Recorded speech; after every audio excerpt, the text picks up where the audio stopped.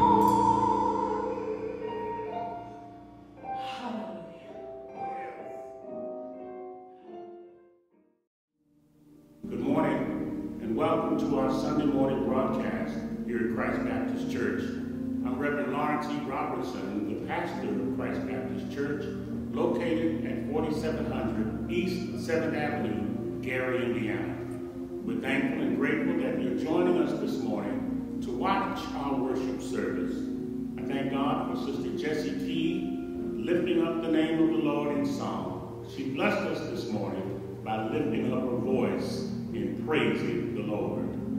We're grateful that you're able to join with us here on this Sunday morning. Our scripture this morning is found in the fourth chapter of the book of Jonah. After prayer and meditation, I asked the Lord to give me a word this morning. And there is a word from on high. Here we're living in this time of crisis, COVID-19, and prayerfully the Lord led me to the fourth chapter of the book of Jonah. And we read these words in Jonah chapter 4, beginning at the first verse. But it displeased Jonah exceedingly, and he became angry. And so he prayed to the Lord and said, O Lord, was not this what I said when I was still in my country? Therefore I fled previously to Tarshish, for I know that you are a gracious and merciful God slow to anger and abundant in loving kindness, one who relents from doing harm. Therefore now, O Lord, please take my life from me, for it is better for me to die than to live. Verse 4 reads, Then the Lord said to Jonah, Is it right for you to be angry? This morning, in the time that we're living in, Jonah in our scripture today is angry with God. He's upset with the Lord because of what God is doing for someone else. Jonah is mad with God because God is getting ready to bless someone else. And we're living in a time today where people are bitter, people are angry, but God has a way of putting us all in the same situation. God has a way of bringing all of us under the same umbrella of this crisis.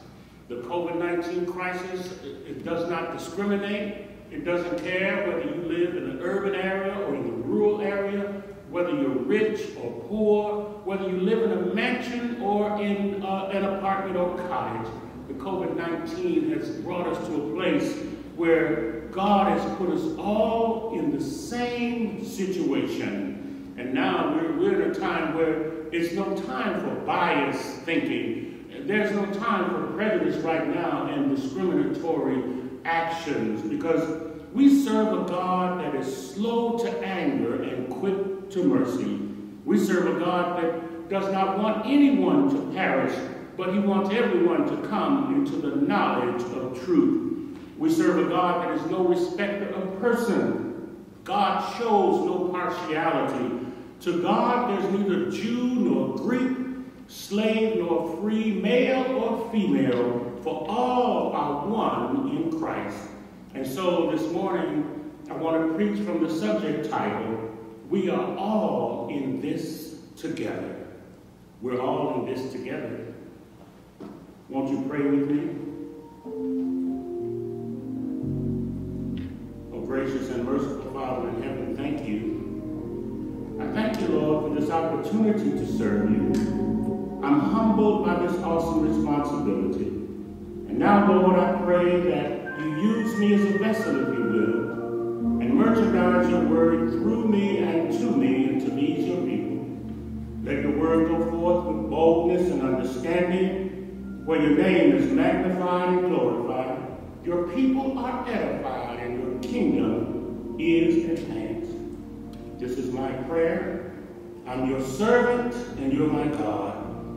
And I pray in the name of Jesus. Amen. We are all in this together.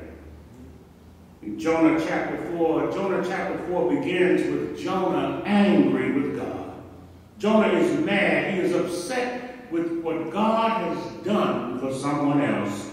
Jonah is having this angry conversation with the Lord. The fourth chapter of this prophetic book starts off with but it displeased Jonah exceedingly what God did. What God did irritated Jonah.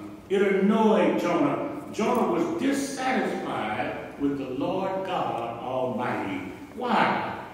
You have to understand the history that Jonah had with God. You see, this book of Jonah is four short chapters. And in order to understand why Jonah is so frustrated here in chapter 4, we have to understand the relationship between God and Jonah in chapters 1, 2, and 3.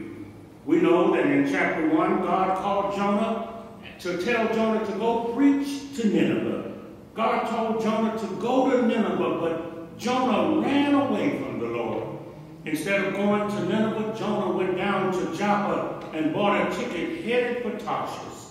We know that in chapter 1, after running from the Lord and getting aboard a ship, God sent a mighty storm against that ship.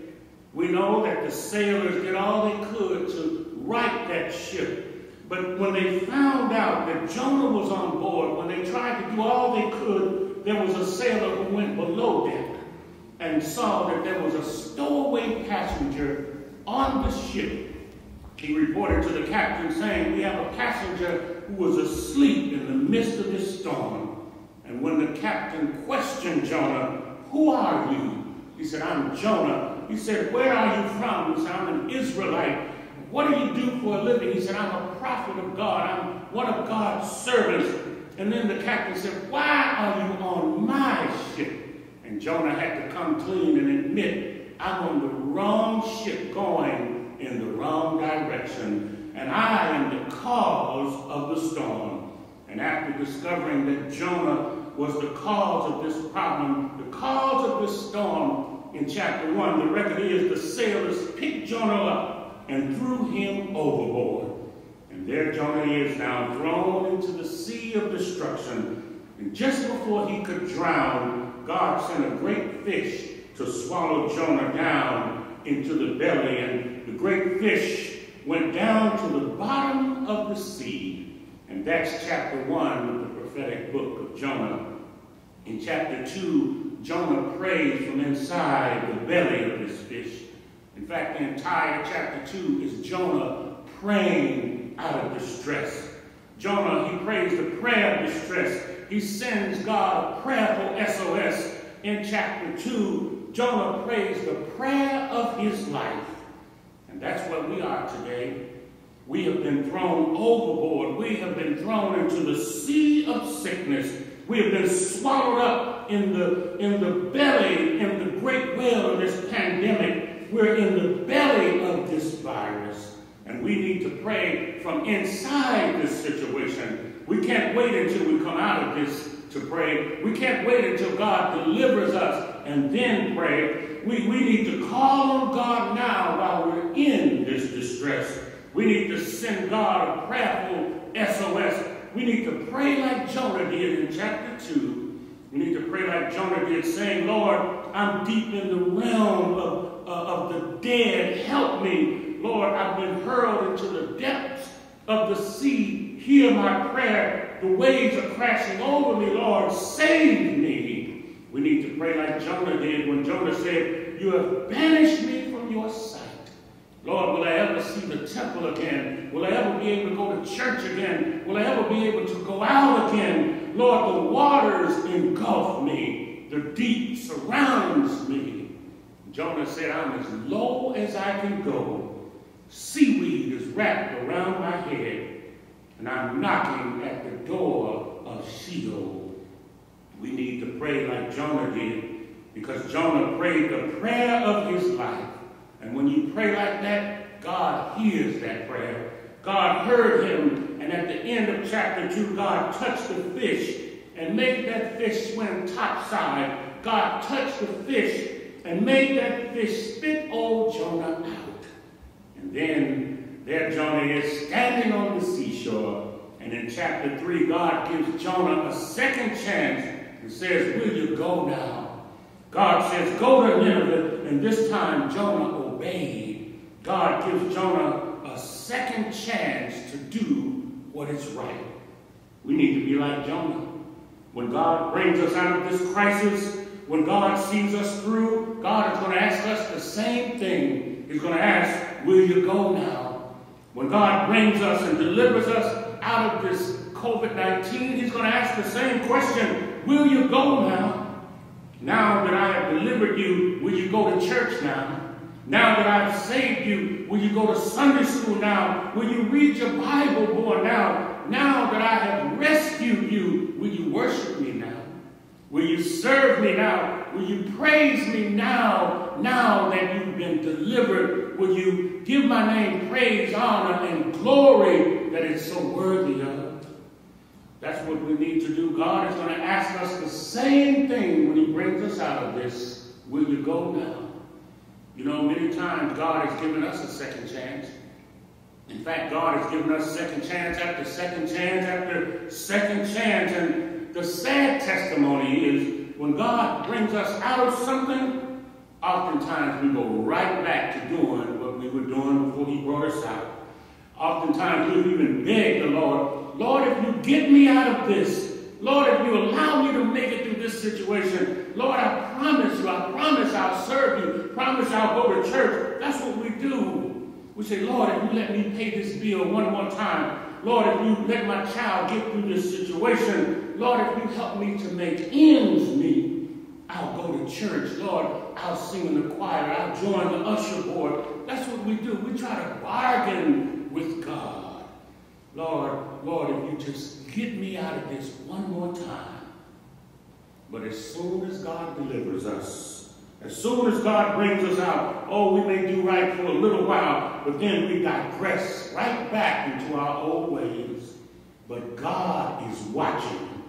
And God is tired of our mess. God is tired of our junk. He's tired of us being hypocritical and just giving him lip service.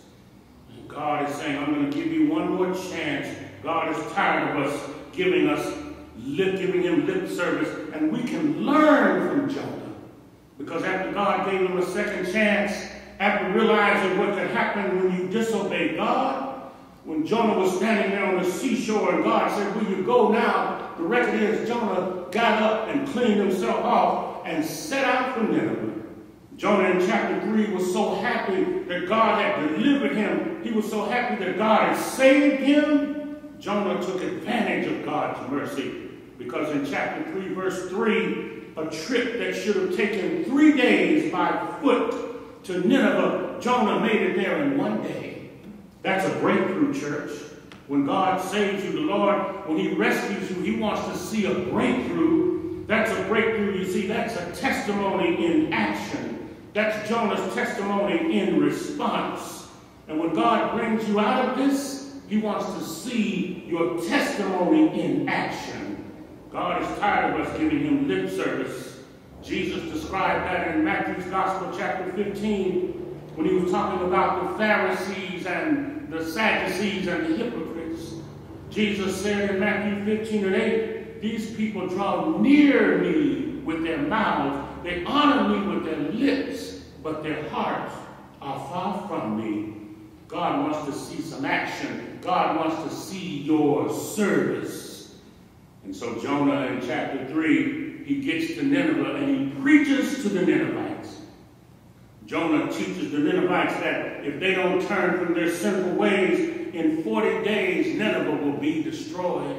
Jonah preaches that God will destroy you the way he destroyed Sodom and Gomorrah. Jonah preaches so good that the Ninevites believe, the Ninevites turn from their wicked ways, Jonah preaches so good that the Ninevites proclaim a fast.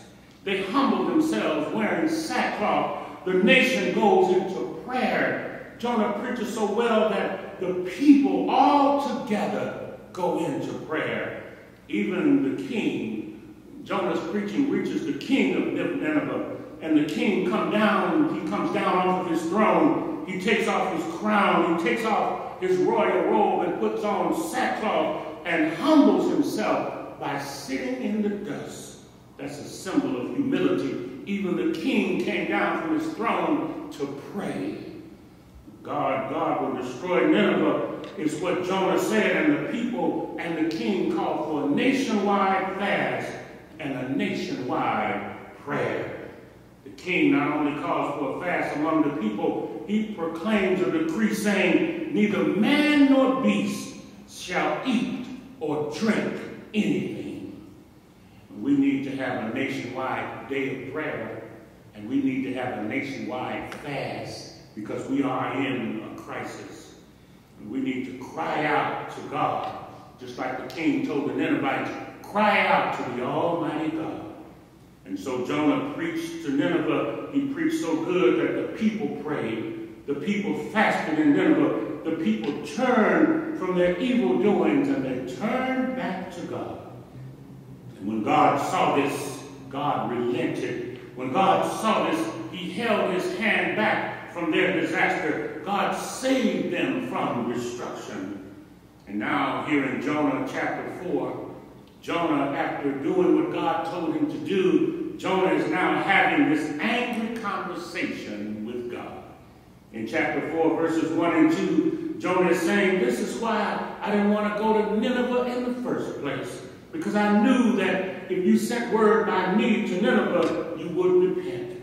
I knew that after hearing your word, the people would turn around. I knew that, that you would show them mercy. That I knew that if I preached to Nineveh, you would show them your grace. I knew, I know that you're a God that's slow to anger and quick to mercy. I knew that you would relent from punishing them. The message is Jonah wanted them punished. Jonah wanted them destroyed. Jonah did everything God told him to do, and he still harbored hatred in his heart. Don't you know that there are people today who, who harbor hatred even in the midst of this crisis? Here we are, all together. We're in this thing all together, but there are people today who are still hating on one another.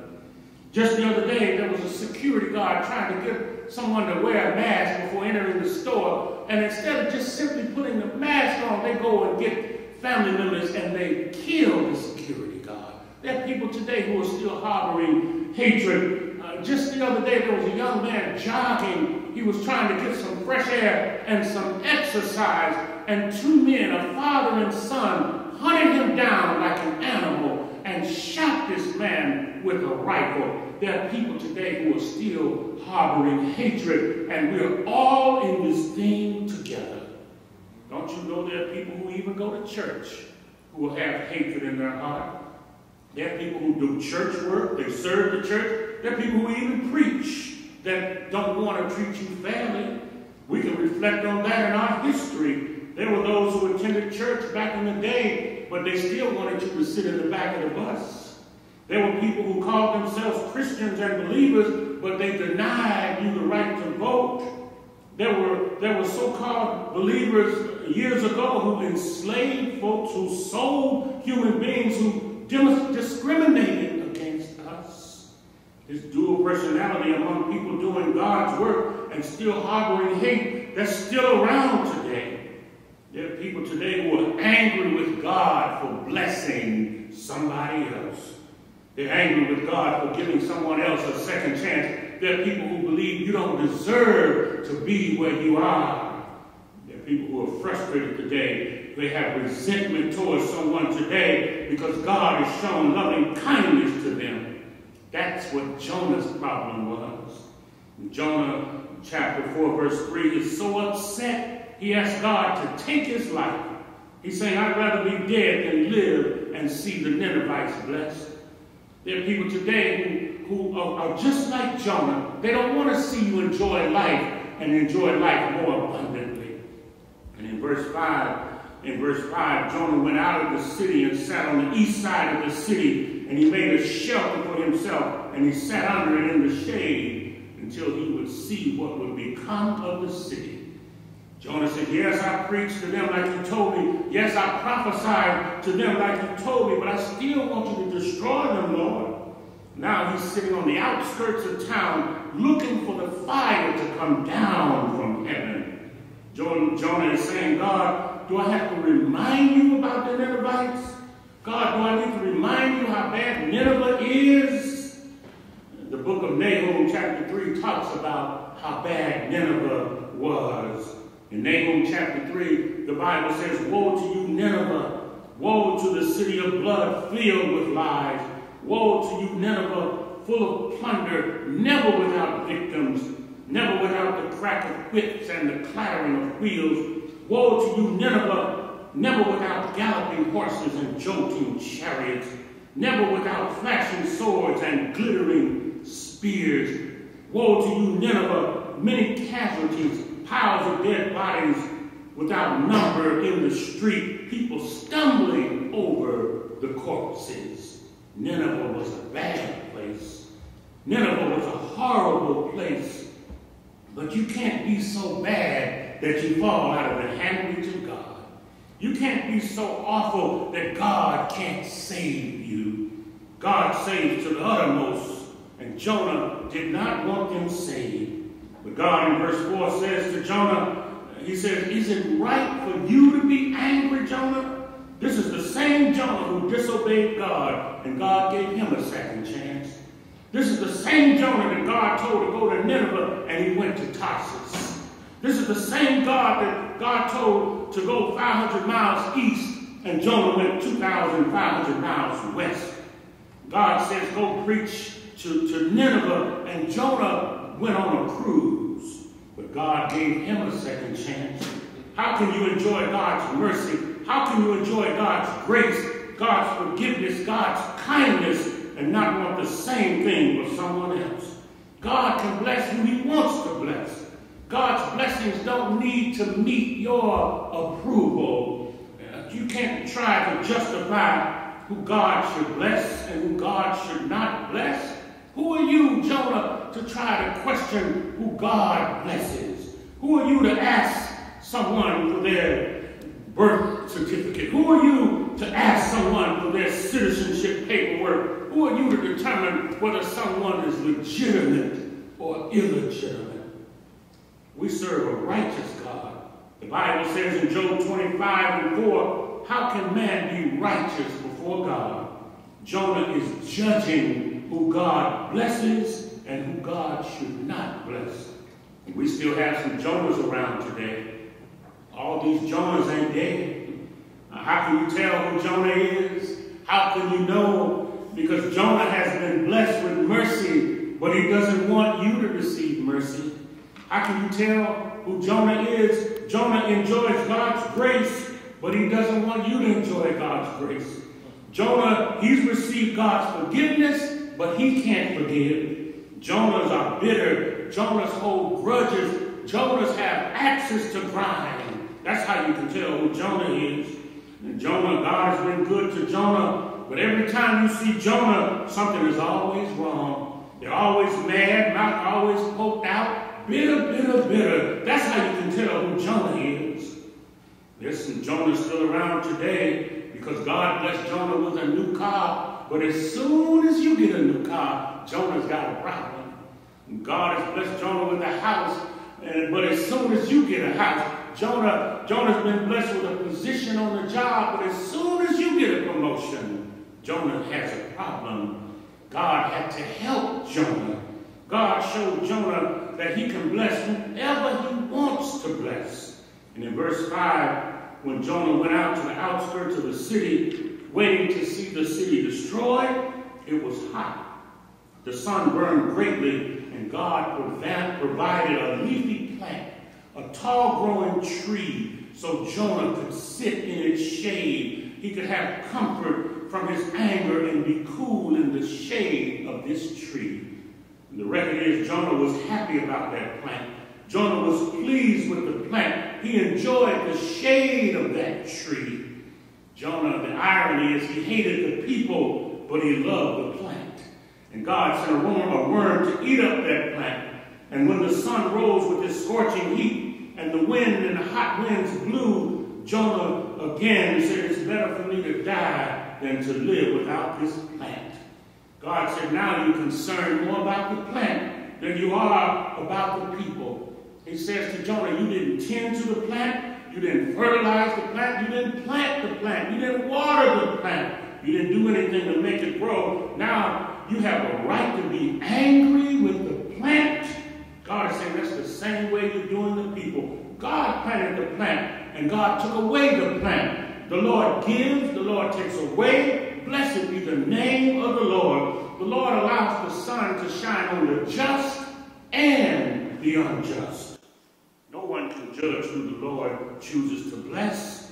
Don't judge, is what Jesus said in the Sermon on the Mount in Matthew chapter 7. Judge not, that you might not be judged. For with what judgment you judge, you will be judged, and it will be measured back to you. So why would you look at the speck in your brother's eye when you got a two by four in your own eye? Jesus is saying, don't judge. The Lord can bless who he wants to bless. And we are all in this together because to God, all souls matter.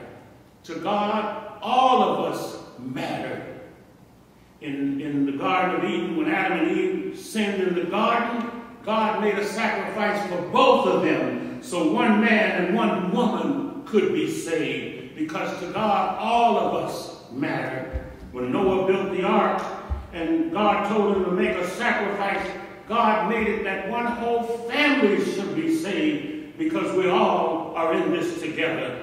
Moses told the children of Israel to sacrifice a lamb and put the blood on the doorpost and the mantle that one nation might be saved because we all are in this together.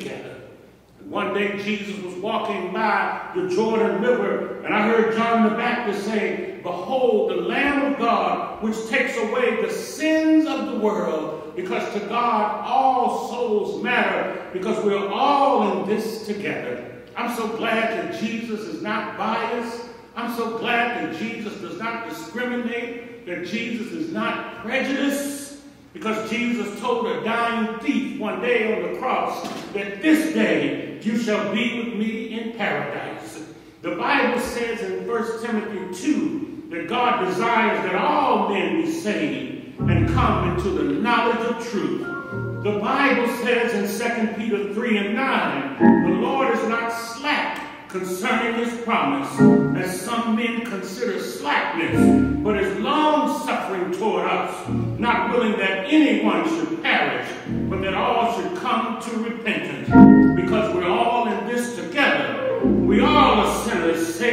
Grace. That's why God sent Jesus.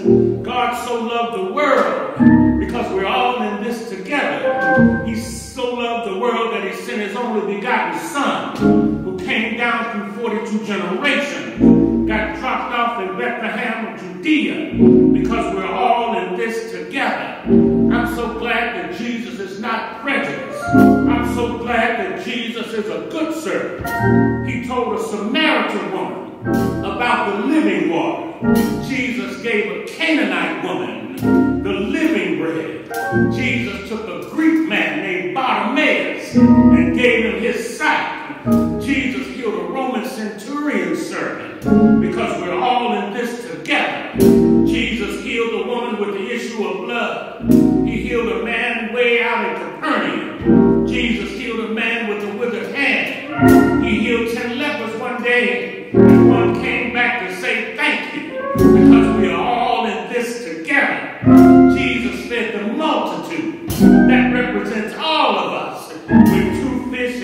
and five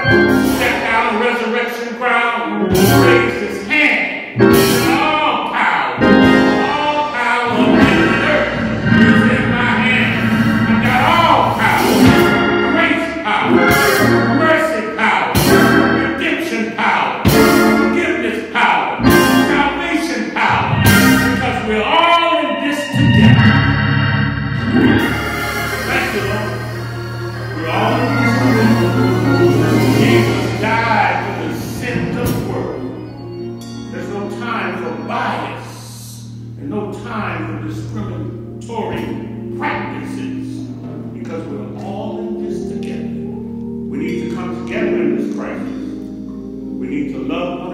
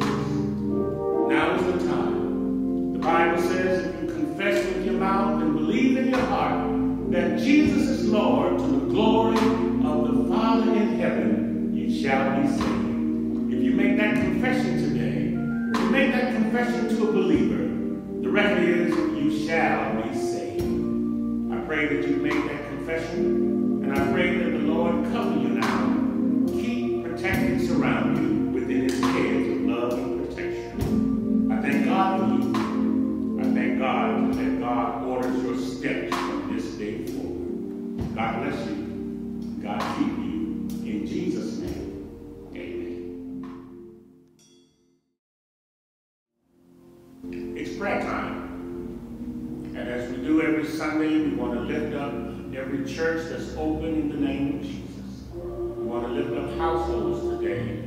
We're lifting up families. We're lifting up seasoned saints. We're lifting up our young people, our 2020 graduates. We want to thank God for them and ask God to bless them real good as they're enduring uh, through this crisis. We want to lift up all of our sick and shut in as you see them scrolling their names scroll across the screen.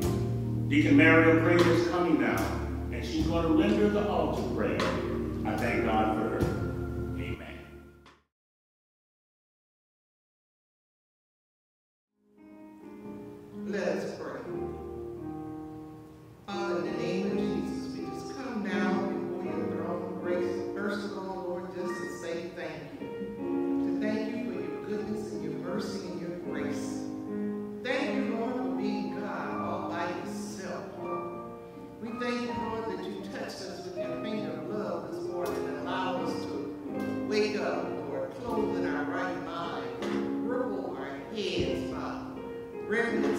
There's something close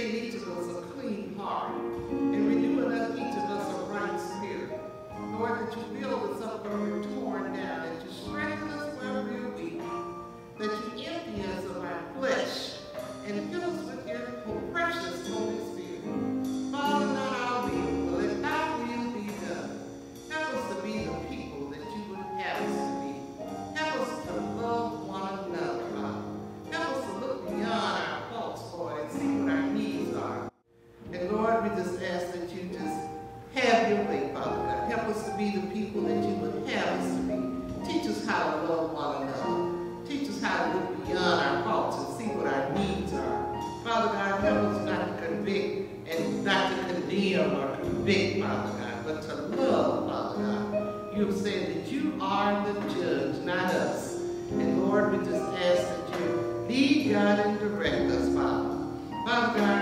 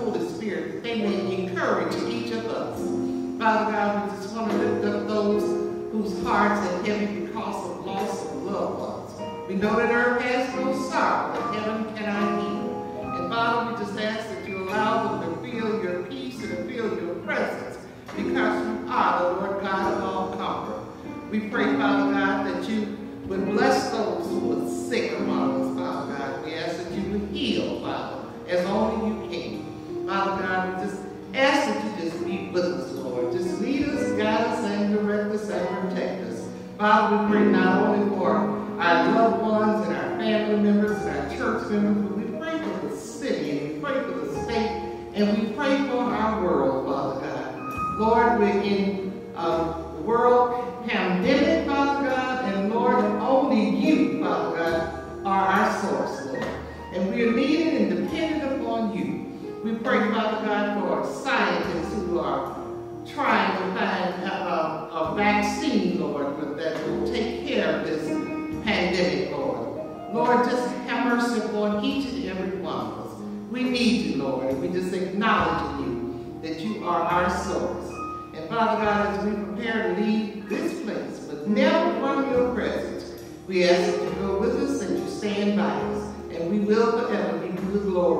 give you the honor, and give you the praise. For it is in the name of Jesus that we do pray. Amen.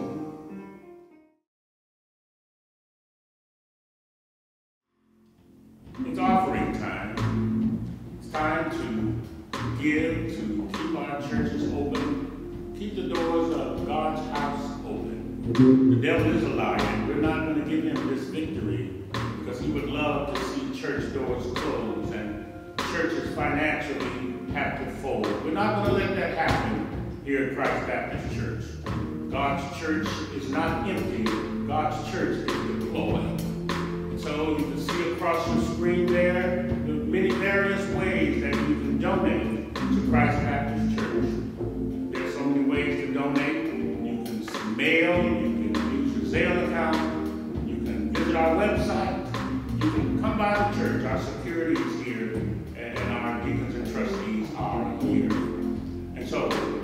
there on the screen. The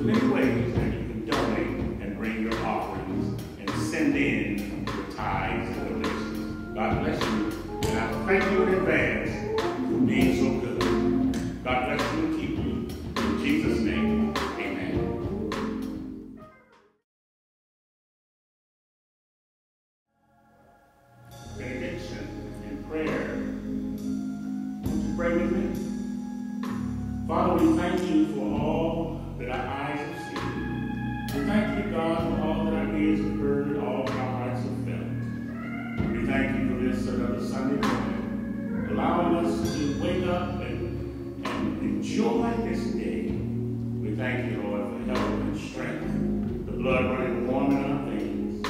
We thank you for the activity of our limbs. Father, we can't thank you enough. We especially thank you for Jesus. And now as we prepare to go out from this place, but not out of your presence, we pray, oh God, that you go ahead of us. You go before us. You make a way for us. But most importantly, God, go with us. Now may the grace of God, as Father and as Son, and the sweet communion of God, as Holy Spirit,